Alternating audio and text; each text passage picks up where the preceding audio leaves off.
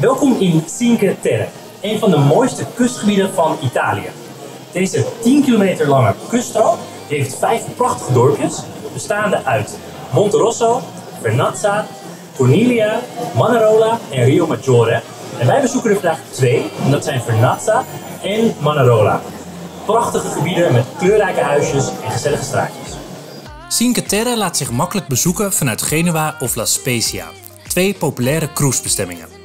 Ik bezoek de dorpjes per trein vanuit La Spezia, die er zo'n 20 minuten over doet.